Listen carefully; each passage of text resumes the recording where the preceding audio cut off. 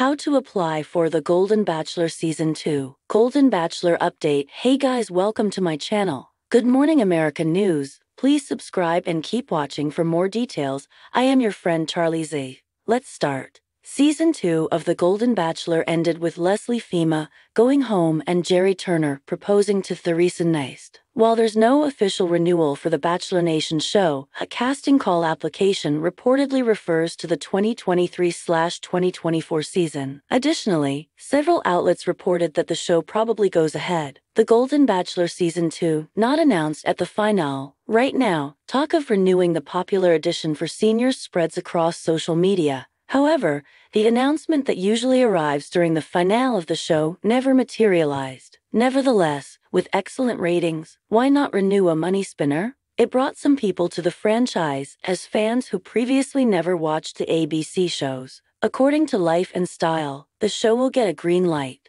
The Golden Bachelor news arrived via an insider source. Notably, an application form is available. Although Gerry Turner's season aired in 2023, the call went out for applicants in 2020. However, delays came because of the coronavirus pandemic. Importantly, despite some outlets claiming the show's renewal during the fantasy suites, no official confirmation arrived. Applying for the Golden Bachelor Season 2. As a casting call exists, it wouldn't hurt to fill out the form and get started if you want to be the next Theresa Nist. With 70 questions, it might take time to complete, and you will need to provide some photos of yourself. Similar to the application for The Bachelorette and The Bachelor, applicants must legally reside in the USA or Canada, but not in Quebec. Palm Beach, Daily News reported that Gerry Turner ended up with 22 contestants. Obviously, plenty of people did not make the cut, so just because you apply does not mean you are guaranteed a place. For Gerry Turner's season, applicants elected were aged over 60. The cutoff age was 75. Leslie Fhima,